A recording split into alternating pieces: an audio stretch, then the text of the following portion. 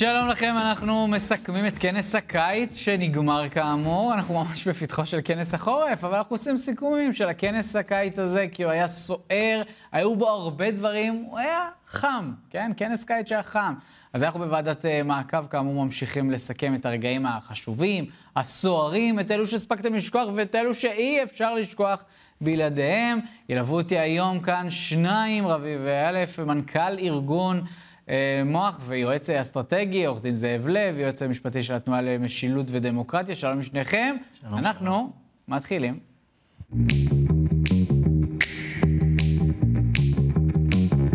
נתחיל עם אה, סיכום תפקודה של האופוזיציה בכנס הקיץ. זה מצטרפת אלינו לחלק הזה, סיון חילאי, כתבת פרלמנטרית בוויינט וידיעות אחרונות. שלום.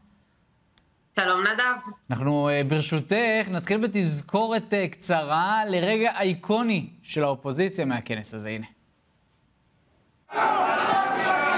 הצבעה שמית, קריאה שלישית על החוק כנוסח הוועדה. מזכיר הכנסת, נא קרא בשמות חברי הכנסת. מי שאינו מעוניין לצאת, מי שאינו מעוניין להצביע מוזמן לצאת. מי שלא, נעזור לו. מזכיר הכנסת, נא קרא בשמות חברי הכנסת.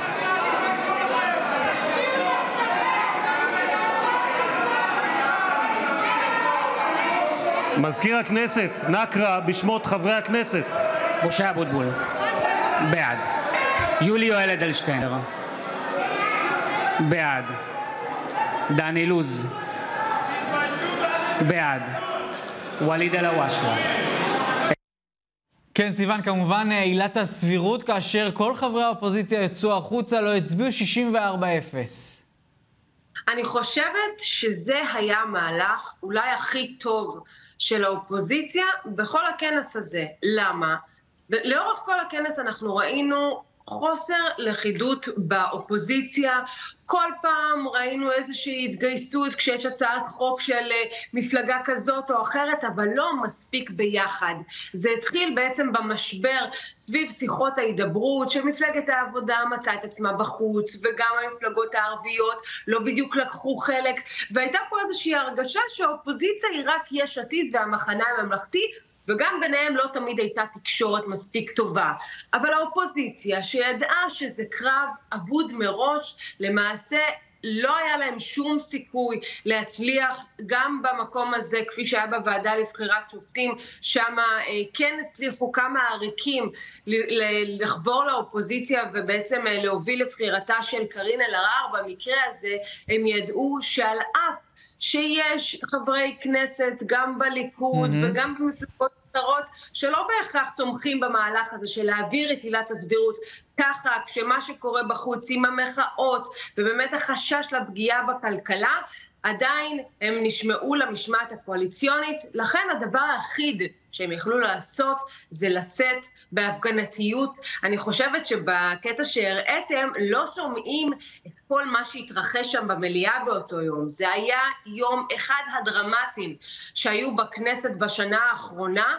ובעצם הם יוצאים בהפגנתיות, זו המחאה שהם יכולים לעשות ולא מעבר, כן. ולכן חושבת שזה היה רגע של אחידות באופוזיציה, שהראה את הכוח שלה. רגע של אחידות אה, מהבודדים כאמור בשנה הזו שחלפה במושב הזה הראשון של הכנסת. את יודעת, אה, הקואליציה והאופוזיציה סביבה למעשה עברו איזשהו היפוך. כי ראינו כאן את הקואליציה, את האופוזיציה היום, בשבתם בקואליציה, למרות המחלוקות השונות, ביחד אה, מתאמצים כדי להגיע אה, לאחידות, וכשהם באופוזיציה, דווקא אנחנו רואים אותם במחלוקות. את הקואליציה של היום, כשהם היו באופוזיציה, ראינו איתן, עומדים יחד, ממש צמודים, משלבים זרועות, ואילו שהם בקואליציה, אנחנו רואים שהם עם הרבה בעיות. נכון, אני לא רוצה לצאת פה בהצהרות גדולות על מחנה כזה או אחר, אבל אני אגיד שאם אנחנו מסתכלים על הפוליטיקאים שלנו, יש פה איזושהי נטייה שכל אחד בפני עצמו. כל אה, ראש מפלגה קצת עם האגו שלו, רוצה להראות שהוא זה שמוביל את המהלך, הוא זה שמוביל להידברות, הוא זה שמוביל להפלה של חוק כזה או אחר, ולצערנו, הכוכבות הזאת של כל אחד מהם, אנחנו מדברים על מרב מיכאלי במפלגת העבודה, שגם היא חטפה על זה הרבה ביקורת, על עצם זה שהיא לא מספיק מלוכדת עם האופוזיציה, זה גם הוביל לנפילתה של אה, מפלגת מרץ בסופו של דבר, וזה שהיא לא נכנסה במערכת הבחירות אה, הנוכחית לכנסת, ו- וכן הלאה, מה שנקרא, גם ראינו כל מיני תדרוכים כאלה ואחרים נגד ראשי מפלגה באופוזיציה, שמענו שהיא אמרה כל מיני דברים על יאיר לפיד, על ההתנהגות שלו, בסוף זה ראש האופוזיציה שלך. כן. אם אתם לא ביחד, אתם נראים חלשים. ורק מחזקים את הקואליציה. סיוון, תשארי איתנו, בואו נצרף כאן את החבר'ה באולפן. רביב, רצית לומר משהו בעניין הזה. כן, קודם כל, אה, כשאנחנו מסתכלים על האופוזיציה הזאת, אנחנו צריכים לזכור שזו רק חלק מהאופוזיציה, ולממשלה הזו יש אופוזיציה מאוד מאוד גדולה ברחוב. שיוצאת uh, בכל רחבי ישראל מדי שבת להפגנות, ואנחנו רואים את זה שבת אחרי שבת. לא תמיד האופוזיציה ברחוב uh, מזדהה אחד לאחד. עם האופוזיציה הפרלמנטרית שעליה אנחנו מדברים, וגם אבל תראה, אם אנחנו מדברים... מסתכלים על האופוזיציה כן הפרלמנטרית, לא על מה שקורה ברחוב, אין ספק שמה שקורה ברחוב משפיע על מה שקורה כאן. האופוזיציה הזאת היא אופוזיציה לא מאוחדת. אמנם יש ראש אופוזיציה, אבל הוא לא ראש אופוזיציה מובהק של כל המפלגות.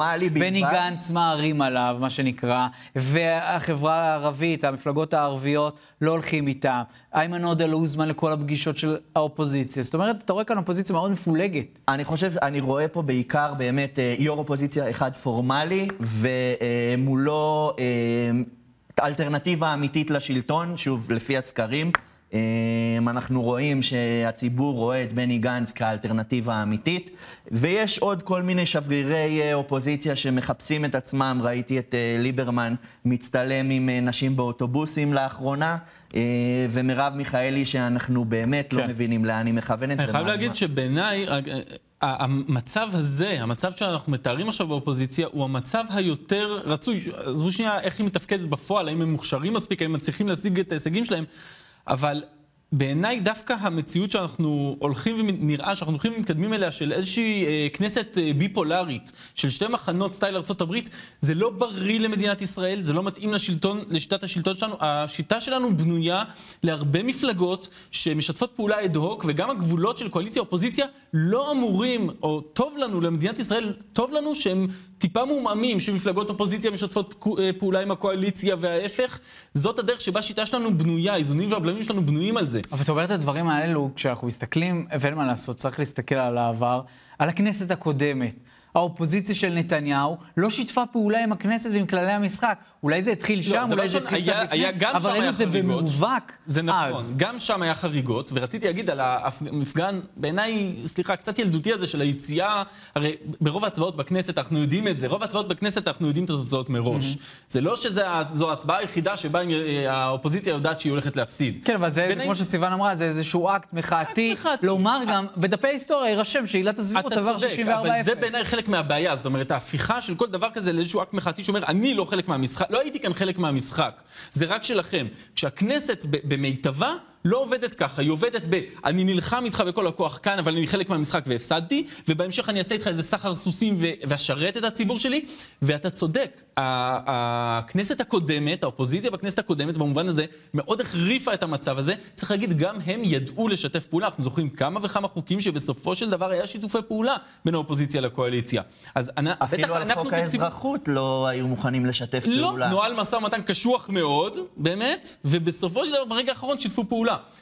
אני חושב שאנחנו כתקשורת, כאזרחים, כארגוני מגזר שלישי, אנחנו רוצים לראות יותר שיתופי פעולה ויותר אופוזיציה וקואליציה מפורדו, אה, מפוררות מאשר איזושהי מציאות ביפולרית כזאת, שהכל כן. ידוע מראש והכל... אה, בואו נחזור אה, אלייך, סיוון. בואו נדבר על היחסים בין בני גנץ לבין יאיר לפיד, כי אין ספק בתחילת המושב הזה, בני גנץ, גם אולי בסופו, הוא זה, כמו שאומר אביב, הוא זה שמוביל כרגע בסקרים כראש המחנה הזה. ראינו עוד כשקמה לכנסת אה, בוועדה המסדרת ניסיון של המחנה הממלכתי להשתלט, לבוא כמי שמנהלים משא ומתן אל מול הקואליציה לבד ולא תחתיו של ראש האופוזיציה לפיד.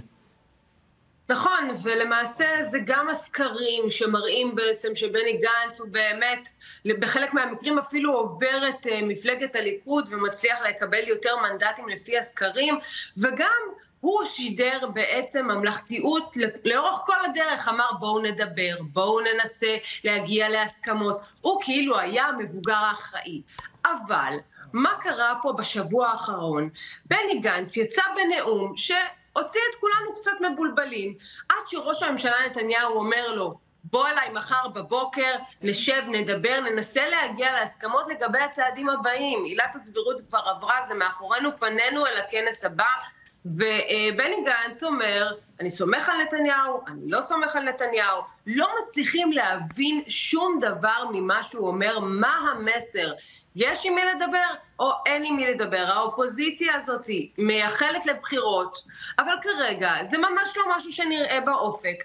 ולכן נדרשת פה איזושהי הידברות בין הצדדים, כי אם לא תהיה חקיקה בהסכמה, כנראה שימשיכו כפי שזה היה עם עילת הסבירות, ימשיכו בחקיקה חד צדדית, על פי איך שראש הממשלה יראה לנכון, והבעיה היא פה, גם אה, בנוגע לראש האופוזיציה יאיר לפיד, שכאילו קצת הוציאו אותו מהמשחק, הוא נראה כהילד הרע של, של האופוזיציה הזאת, שבעצם אומר, אין לנו עם מי לדבר בצד השני, כל הצעדים שהם מבקשים לעשות מבחינתנו פסולים, ואנחנו לא מוכנים לשבת לדבר על איך יחריבו את מערכת המשפט. ככה, אה, זה מה שאנחנו שומעים אה, מצידו של ראש האופוזיציה בתקופה האחרונה, ובני גנץ, שאמר כל הזמן בואו נדבר, עכשיו גם הוא לא כל כך בטוח שהוא רוצה לשבת לדבר, ואני חושבת שיש פה איזשהו חשש ממה יגידו בחוץ. זה בסדר כן לעשות איזושהי חקיקה במערכת המשפט, או שבכלל להוריד את הדבר הזה מהפרק, והם יודעים שלא משנה מה הם יעשו, הם יספגו הרבה מאוד ביקורת משני הצדדים. סיוון אה, חילאי, כתבת אה, הפרלמנטרית של ידיעות וויינט, ניפרד ממך בשלב הזה, תודה רבה. תודה. חברים, אה, משפט סיכום של שתיכם בעניין הזה, זאב? כן, אני חושב ש, שגם בהקשר דברים שנאמרו עכשיו, אנחנו רואים באמת איזושהי, איזושהי נטייה לדמוניזציה כזאת. זאת אומרת, והדמוניזציה הזאת היא עוברת מה... מהכנסת, מהמשחק הפוליטי, לשדה האזרחי. זאת אומרת, אם כל דבר שהקואליציה הזאת עושה הוא מוקצה מחמת מיוס והוא אסור והוא סוף הדמוקרטיה, מהר מאוד זה הופך להיות מצב שכל דבר שהמחנה הזה עושה, ש, שמי שתמך בקואליציה הזאת הוא גם, ו, וזה מסלול שהוא לא טוב. הוא מסלול לא בריא לחברה הישראלית ולמדינת ישראל. אני, בהמשך לדברים של סיון, אני חושב שבני גנץ אה, הוביל קו מאוד מאוד ברור של אה, חתירה להסכמות ואיחוי הקרע בעם. אה, זה מהרגע הראשון, אני חושב שהוא ממשיך עם זה גם היום. הוא כמובן לא סומך על אה, נתניהו ויש לו סיבות טובות, הוא ישב איתו בממשלה, שילם מחירים פוליטיים מאוד מאוד כבדים רק כדי אה, לצאת מרומה. היום הוא לא מוכן לצאת מרומה והוא כן. רוצה לעגן אה, הסכמות בברזל. טוב, דיברנו על שיתופי פעולה, קואליציה ואופוזיציה, כמה הדבר הזה חשוב. בואו נדבר על חוק שעבר בהסכמה מפתיעה בין הצדדים.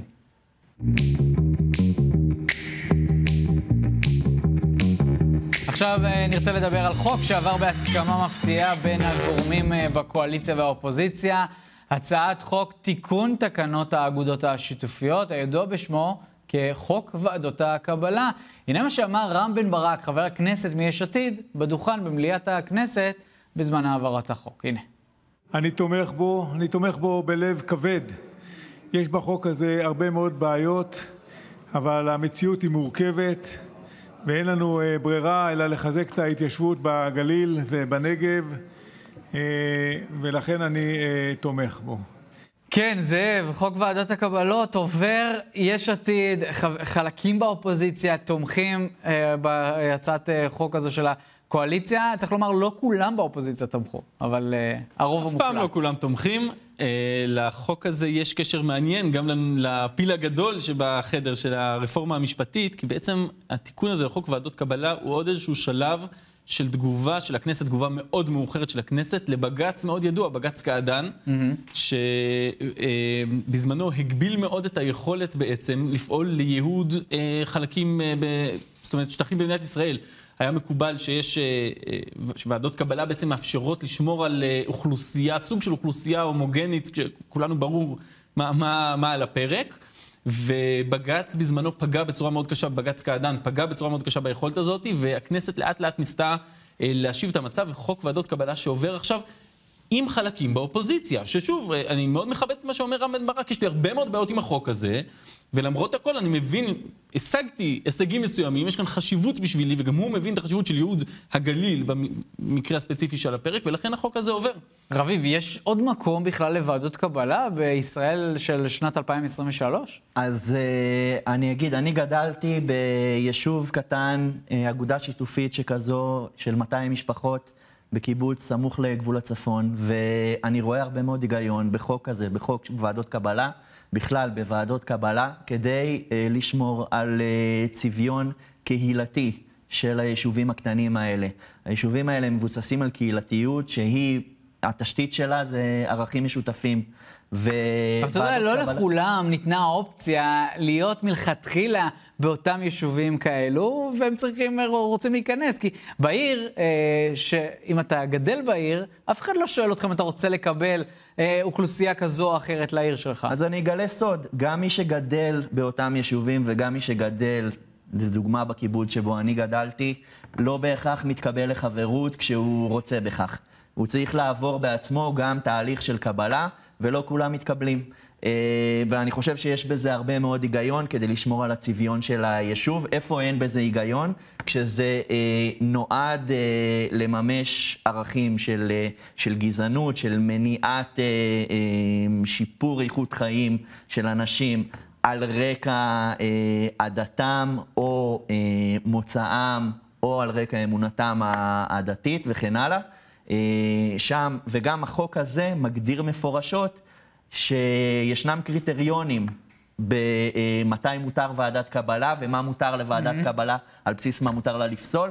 אני חושב שהחוק הזה יחסית מאוזן ולכן הצליחו להגיע להסכמות. אנחנו צריכים לייחל ליותר הסכמות כאלה בין אופוזיציה לקואליציה. אני uh, מצטרף כן. לדברים שזאב אמר קודם. אה, זאב, אני רוצה להמשיך את העניין הזה, כי דיברת על הרפורמה במערכת המשפט, שהובילה באמת לשסע, לקרע בעם. מהחריפים שהיו כאן, ואם אנחנו מסתכלים דווקא על העניין הזה של ועדות הקבלה, כי אנחנו רואים שוב את מה שנקרא ישראל הראשונה, ישראל השנייה, למרות שאני באמת לא אוהב להשתמש במונחים הללו. אגב, במקרה הזה אני לא בטוח זאת הנקודה. לא, לא, אני... אנחנו כולנו זוכרים את הקיבוצים של פעם, וזה לא האירוע. אני מנסה ככה להיכנס, לעשות עוד רזולוציה פנימה לעניין הזה, ואנחנו רואים את הכעס, ואנחנו רואים אנשים מהעיר הולכים להפגין ולחסום אנשים מהקיבוץ. אנחנו רואים באמת איך הדבר הזה מחריף. השאלה אם ועדות הקבלה בסופו של דבר, שוב, דווקא בעת הזו זה לא איזה משהו שגורם לעוד קרע ופער בחברה. אני רוצה להגיד על זה שני דברים. הדבר הראשון הוא שבעיניי, וזה במקרו, אה, לא הרפורמה המשפטית יצרה את הקרע, אלא הקרע אה, יצר את הפיצוץ ברפורמה המשפטית, זה בעיניי. כי התכנים של הרפורמה בעיניי, גנץ ולפיד דיברו עליהם, בטח ליברמן דיבר עליהם, זה לא האירוע. האירוע כאן הוא איזשהו קרע לאומי. שמצא ביטוי באירוע ספציפי, שהוא אירוע מאוד משמעותי. נשים את זה רגע בצד, נחזור לוועדות הקבלה. אולי נאמר הדרך שהגיעה לשם. לא, זה, זה לא הדרך. זה לא הדרך. הרפורמה היא רפורמה משמעותית, והיא, וכש, אבל באותה מידה, אם היה עכשיו איזו רפורמה כלכלית משמעותית, או רפורמה... אמ, אה, רפורמה זהותית משמעותית, זה היה מתפוצץ שם. כל רפורמה משמעותית שהייתה קורית עכשיו, הייתה מובילה לפיצוץ. בוא נסגור סוגריים. סגרנו סוגריים. חזרה לוועדות הקבלה. אני לא חושב, כי, תראו, צריך להבין, יש כאן שני אה, סוגים של אינטרסים בוועדות קבלה האלה. האינטרס האחד, ואני חושב שהוא מאוד מוצהר, הוא היכולת אה, לממש את החזון הציוני, לייהד אזורים שלמים ב- ב- במדינת ישראל, שבהם פשוט אין אוכלוסייה יהודית, או אין מספיק אוכלוסייה mm-hmm. יהודית, וזה האירוע. ולכן העניין כאן הוא לא ישראל הראשונה, ישראל השנייה. וכל עוד באמת מאפשרים, אה, וזה מתחבר ללמה היישובים האלה צריכים ועדות קבלה, אחד, כדי לשמור על הזהות היהודית שלהם, אבל שתיים, יישובים קטנים, יש להם בעיה אמיתית. בלי, ואמר את זה רביב, והוא צודק מאוד, בלי איזשהו שיתוף ערכים של התושבים, בלי איזושהי כן. זהות, הם לא מצליחים להתפתח. רביב, אני לקחתי את זה דווקא לחלק השני הזה של באמת האוכלוסייה בישראל היהודית, כן? בין ישראל הראשונה לישראל השנייה, אבל החוק הזה באמת דיבר, ואתה הזכרת את זה, על לייעד. אני מניח שאתה גם מדבר על, שוב, על עניין הגזענות, של להוציא אנשים שהם אולי לא חלק מהמסגרת הזו של הערכים, של הדת, שלא יהיו חלק מהיישוב. צריך uh, לומר, בהקשר של הייהוד, יש פה חטא קדמון שבכלל לא קשור לוועדות הקבלה. והחטא הקדמון הוא תת-התקצוב של היישובים הערבים במדינת ישראל. תושבים ערבים במדינת ישראל מחפשים בחלקם אה, שיפור של איכות החיים שלהם, ובצדק, כולנו רוצים לשפר את איכות חיינו.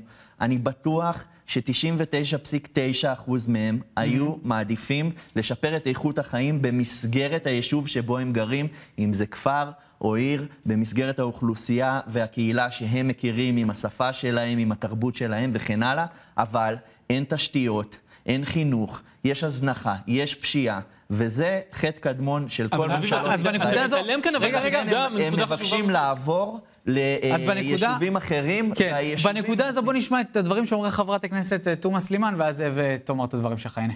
החוק הזה גזעני מהיום שהוא נולד, וכל תיקון בין סוגריים שאתה מדבר עליו זה להתגזען עוד יותר, זה להעמיק ולהרחיב את הגזענות בצורה אפילו יותר רחבה ממה שהיה עד עכשיו.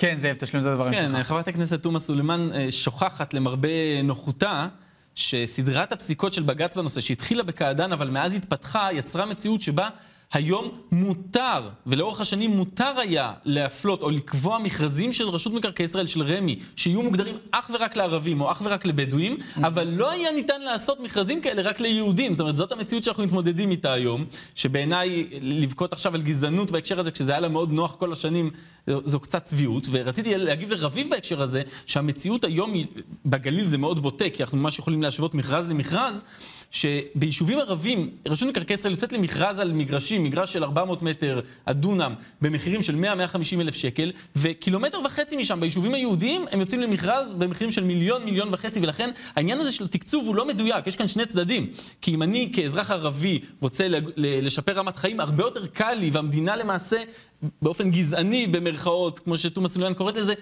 אה, מתמרצת אותי מאוד לקנות ביישובים הערבים, ולעומת זאת ליהודים אין יכולת גם לשמור על אופי היישוב שלהם, וגם המחירים הם, הם גבוהים בפערים תגובה שלך. ונתקדם אני הלאה. אשמח לראות את תוכניות המתאר שמאפשרות ליישובים נכון. זה נכון שיש בעיה של, אה, להתפתח, תוכניות מתאר, אני לא- אה, ועל בסיס. תוכניות המתאר האלה היה אפשר לבנות ולפתח את היישובים. ככל שאין כאלה, אין תקצוב לתשתיות בתוך היישובים. אנחנו נמצאים במצב ש... של לא, זו חטא בעיה עם קדמון, שתי- עם שני פנים. שבגללו באמת חוק ועדות הקבלה בכלל בא לעולם. כן. טוב, בואו נדבר על uh, תקציב המדינה לשנים 23-24, שעבר בסוף uh, מאי, uh, לא הרבה זמן אחרי שהחל הכנס הזה.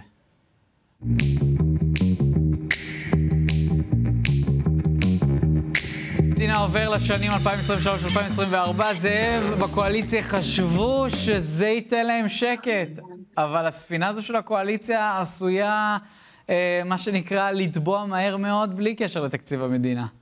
אני לא חושב, כי זה נכון שלקואליציה הזאת אין רגע דל, במובן הזה של אה, מדינת ישראל עומדת בפני כל הזמן אתגרים פנימיים, הפגנות, המצב הכלכלי. חוק הגיוס שנמצא לפתחם.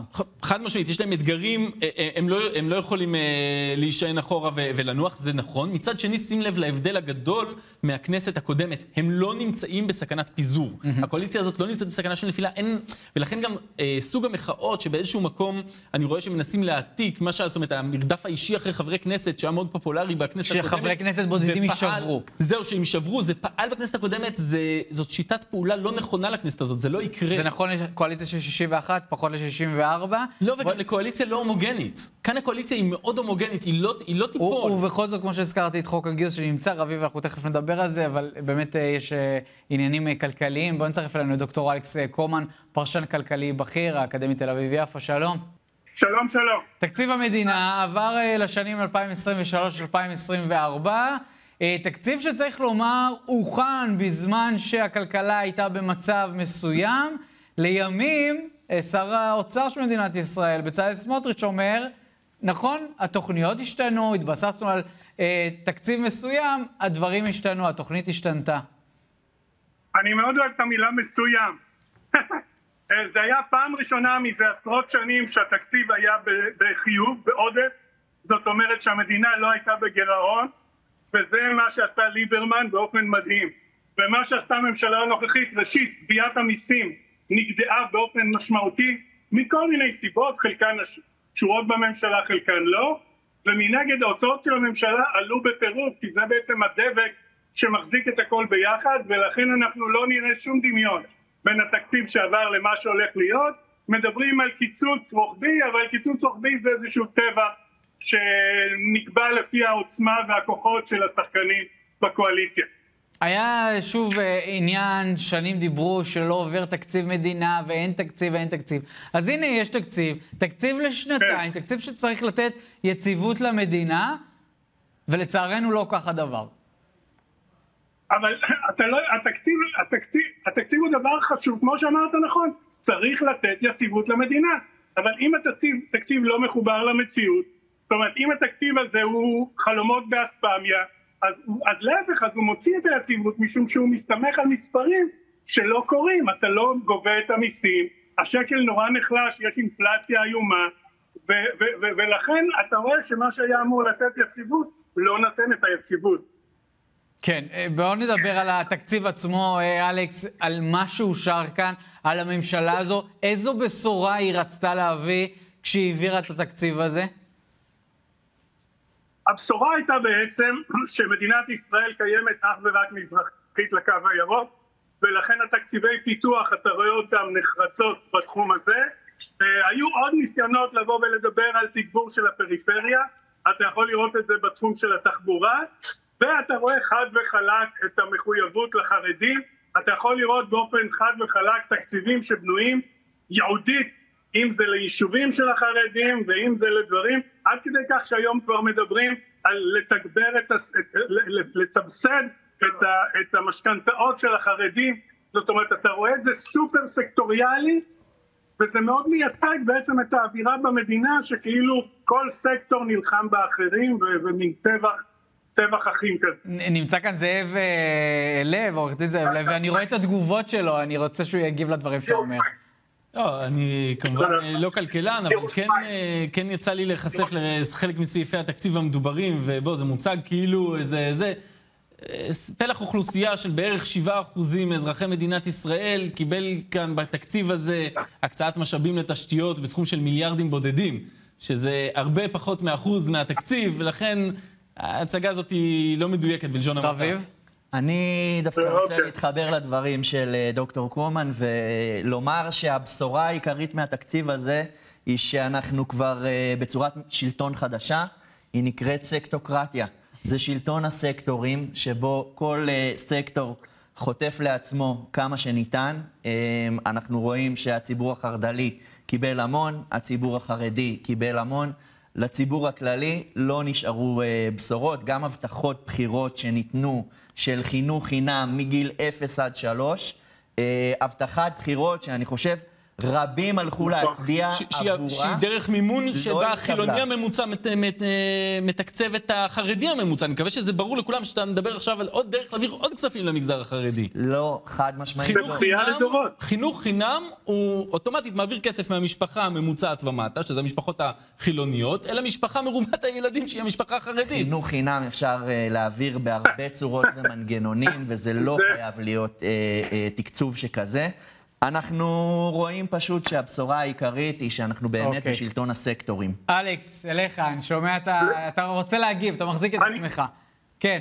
הרעיון, הרעיון של חינוך חינם הוא מאוד מאוד חשוב, המטרה שלו, אני מתייחס לזה כאל השקעה. היום אני נותן חינוך לאוכלוסייה, מחר אני קוצר רמת הכנסות גבוהה מההייטק, מסקטורים שונים, כי אנשים הם אה, יציר, יוצרים ערך. ואם אני בא ואומר לאנשים, חבר'ה, תבטיחו לי שאתם לא מצטרפים לכוח העבודה, הכסף זורם במה שלא יהיה, אל תצאו מהבית, תשבו ותתנדנדו, זה דבר שהולך לעלות לנו בדמים לדורות הבאים.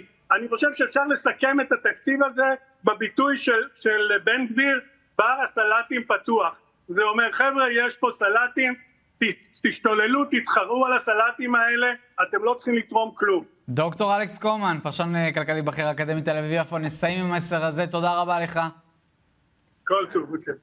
זאב, בר הסלטים, אומר אה, אלכס קומן. אני, אני, שוב, אני לא מסכים, אבל זה נכון, וזה מחזיר אותנו לתחילת השידור בעצם, שבשיטה שלנו, אה, בדרך כלל אמור להיות סחר מכר בין הרבה קבוצות. וברגע שיש גוש גדול, והגוש הזה הוא גוש אה, גם שניצב במרכז, גוש המרכז מחרים לחלוטין את, השיט, את שיתוף הפעולה עם, ה, עם הצד השני, אז יש לזה משמעות שהיא משמעות קשה. אגב, אני, כ, כמי ששייך בסוף לאזור המרכז במובן הסוציו-אקונומי, mm-hmm. הייתי שמח מאוד לראות את יאיר לפיד ואת בני גנץ ואת uh, ליברמן מנ... נכנסים כאן, נותנים כתף, ובמובן הזה מעבירים יותר תקציבים או מפחיתים את הגירעון. ודאי שהייתי רוצה לראות את זה, אבל הפולריזציה המוגזמת הזאת, היא באמת, היא פוגעת בסוף במצביעים שלהם. כן, רביב, אז אולי הגיע הזמן לעשות את זה? אני הראשון שיגיד שהגיע הזמן לאחות את הקרעים בעם ולהגיע לאיזה שהם הסכמות. עזוב לאחות קרעים, לנהל משא ומתן. צריך פה שניים לטנגו. אני רק רוצה להעיר איזושהי נקודה, כי כולנו פה מספיק זקנים כדי לזכור שלפני כמה שנים בודדות לא עבר פה תקציב אה, במשך אה, מעל שנתיים בגלל אה, גחמות של אדם אחד, והרגילו אותנו לסטנדרט הנמוך ביותר, להגיד תודה שבכלל עבר תקציב. רביב א', מנכ"ל ארגון מוח, יועץ אסטרטגי, עורך דין זאב לוי, יועץ המשפטי של התנועה למשילות ודמוקרטיה. תודה רבה לשניכם. תודה, תודה. ותודה גם לכם שצפיתם בנו, נהיה כאן גם בשבוע הבא עם עוד עניינים שקרו כאן בכנס הזה. להתראות.